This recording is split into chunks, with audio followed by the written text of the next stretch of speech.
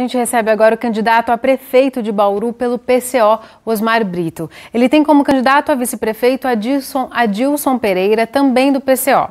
Vamos conhecer as propostas do candidato.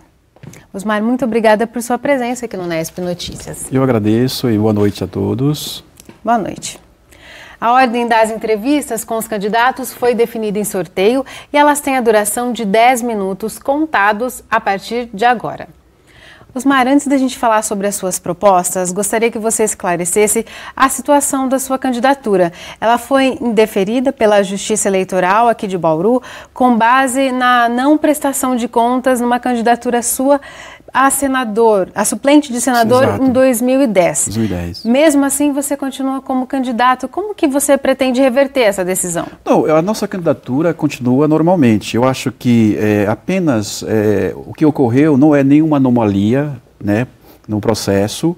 Em 2010, eu fui candidato a suplente senador e houve um indeferimento por parte do, do TSE, né? E não houve campanha, eu não fiz campanha como suplente senador, porque houve indeferimento lá para um outro problema. Então não houve o que prestar de conta, não houve prestação de conta porque não tinha conta, não teve campanha. Então, é, das certidões exigidas pela Justiça Eleitoral, nós comparecemos com cinco, cinco certidões, normal, e essa que a gente está pedindo para que é, a Justiça Eleitoral nos dê, porque é de grande legitimidade, está respaldada, não tem nenhum problema, só isso. Então vocês continuam recorrendo e aguardando a decisão final? Há uma apelação que sobe para o TRE. Essa apelação é de, assim, de, de, de caráter, por exemplo, de é, segundo grau, né, ao que o juiz indeferiu, mas o segundo grau, que é o TRE, vai acolher. A gente espera que acolha essa nossa petição, né? E a campanha continua, até porque nós somos candidatos, temos aí a candidatura a prefeito e vice-prefeito pelo PCO, nós não temos coligação, até porque o nosso programa ele trabalha uma perspectiva diferenciada dos demais das demais candidaturas, né? Então vamos conhecer um pouquinho mais desse programa. Sobre o tema que nós tratamos na reportagem, num eventual governo seu, como seria feita a gestão do DAI para melhorar a capacidade de fornecimento de água para a população e, ao mesmo tempo, evitar o desperdício, que nós vemos que hoje praticamente metade do que é produzido é desperdiçado? Eu acho que é difícil falar de gestão uh, na questão municipal sem trabalhar a questão nacional. A gente até foca em todas as intervenções nossas, no país inteiro, nas cidades que nós estamos trabalhando as candidaturas, é de que não há investimento nos municípios se a gente não pleitear do governo federal. E a gente está classificando que esse governo federal vai tirar verbas, está tirando verbas, tirando o SAMU, tirando, é, por exemplo, UPAs, trabalhando aí para de prejudicar as UPAs e tudo mais. A questão geral aí, a tendência é que o governo federal aí de, de de caráter aí, é, golpista, né, ele vai fazer de tudo para que as finanças públicas supra a demanda da dívida pública. Hoje nós temos uma dívida pública em 70% do PIB, quase isso, né? que é administrada pelos bancos privados, a gente discorda disso, porque é, a cada ano 500 bilhões de reais são direcionadas para os bancos privados fazer rolagem das, dos títulos da dívida pública no Bolsa de Valores.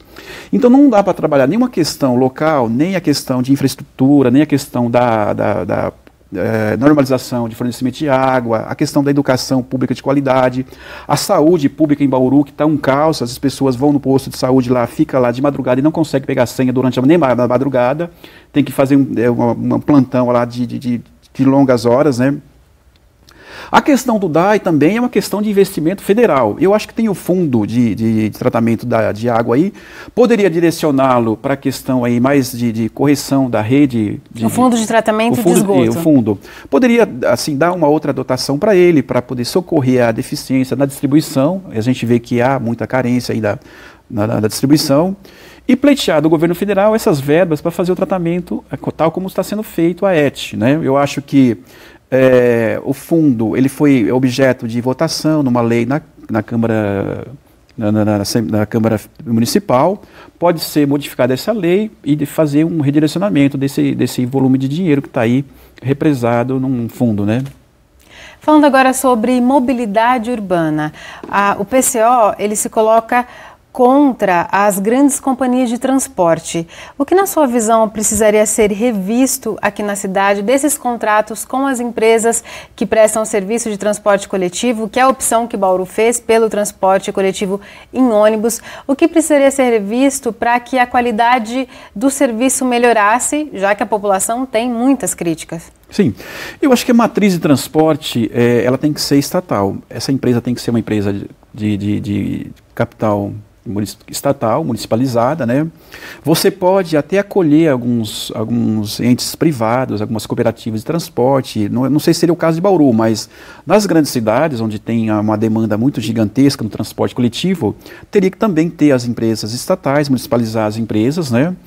E aí, na demanda que você tiver para poder me melhorar o, o, fluxo, o transporte, você poderia dar espaço para pequenas cooperativas de perueiros, de, de, de vans, de, de, né, de caráter privado. Mas a matriz do transporte coletivo tem que ser é, de caráter municipalizado.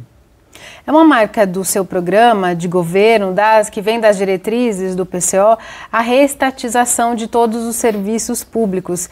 Que outros serviços que seriam reestatizados numa, num eventual governo seu, que tem impacto aqui para o cidadão bauruense? Não, com certeza. Eu acho que é, no último período aí do governo da FHC foi é, privatizada uma série de empresas que prejudicou o Bauru a FEPASA, que foi estadual, mas privatizou via PSDB, a Rede Ferroviária Federal, que é, teve aí todo um desmantelamento. Né? Então, essas empresas tinham um, um, quadro de funcionários com renda que estabilizava a cidade. Né? Tinha aí pessoal bem qualificado, tinha a parte de, de, de gerenciamento, de, de, estrutura técnica, e tudo isso foi desmontado. E o orçamento municipal teria condições de acolher esses serviços, Ter... de custear esses serviços? com certeza a gente direciona para a União, porque são empresas que beneficiam toda a região, né? os traçados férreos, por exemplo, se for recuperado, vai ser de grande importância para a região inteira. Então, a gente entende que a União tem que retomar essas, uh, esses projetos de, de uh, retrabalhar os traçados férreos, né? E eu acho que não só nessa parte aí, mas uma série de outras empresas que foram é, privatizadas, como a própria Telesp, que era uma gigante que empregava muita gente em Bauru, que ela foi privatizada e hoje é, é, não se tem. A massa de salário de Bauru caiu muito, né? Porque a privatização é, debilitou a, a, os salários, privatizou e de repente terceirizou. A mão de obra terceirizada é bastante frágil, bastante precária. Entrando nesse ponto do salário, é, ficou claro que a reestatização seria então no nível federal. Há dois anos que a Prefeitura de Bauru ela reajusta o salário dos servidores sem, corrigir, sem corrigir, sem aplicar a inflação, né? E o PCO, o seu plano de governo, defende um salário mínimo de 4 mil reais.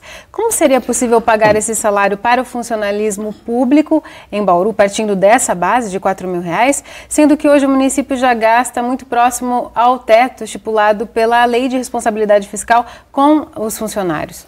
Primeiramente, a nossa defesa é de que seja revogada a Lei de Responsabilidade Fiscal, porque ela veio, inclusive, para engessar investimentos, né? Ela veio para poder tirar uma gordura do, do, do, dos tributos e direcionar naquilo que eu falei, para os bancos especularem com a dívida pública. Então você vai é, poupar aqui, você vai engordar banqueiros. O que a gente percebe é assim, que é, se você traz verbas federais para infraestrutura, o município já se isenta disso. O município não vai precisar, por exemplo, trabalhar essas frentes de, de, de melhorar o DAI, melhorar a escola pública, melhorar, inclusive de caráter municipal, né, com verbas federais. A União ela pode socorrer uma série de, de segmentos aqui e a Prefeitura ela teria condições financeiras para poder é, é, socorrer a, essa massa salarial. E a gente percebe, por exemplo, que nos últimos anos aí, muitas categorias de, de, de funcionários públicos não conseguem reposição salarial por conta também dessa, desse engessamento que é a lei de responsabilidade fiscal, né, que ela atua no, no, em todas as esferas, municipal, estadual e federal. Ela foi feita na medida certa para os bancos privados, né, a gente defende que haja uma mobilização para revogá-la. Um eventual governo seu seria feito por meio de conselhos operários, também uma diretriz do seu partido. Como funcionaria na prática? A gente tem um minuto para a resposta. Não, nós candidato. temos, por exemplo, uma, um pedido, assim, uma, uma, uma, mobilização pela Assembleia Nacional Constituinte, que teria que modificar uma série de, órgãos né, do, da, da, dos serviços estatais, aí, por exemplo. Eu acho que é, o Conselho Popular, como a gente defende, é a forma de representar de forma democrática os interesses da população, porque as, as, as câmaras municipais são bastante limitadas, são representantes dos grandes interesses locais, né? Nós temos aí mais de 5 mil municípios, que cada uma tem uma Câmara Municipal, e quase todas elas só defendem os interesses dos grandes interessados, aí, dos grandes favorecidos. Os conselhos populares vai, de fato, dinamizar essa, essa representação, vai fazer com que os trabalhadores construam seus organismos de representação. Né? Para isso, é um debate político nacional, é, numa Assembleia Nacional Nosso Constituinte. Tempo a gente é. atingiu agora, Osmar. Sim. Desculpa interrompê-lo, mas muito obrigada por sua participação. Eu agradeço e a população que acompanha o nosso programa pelo do, uh, site do PCO, que tem mais complementos.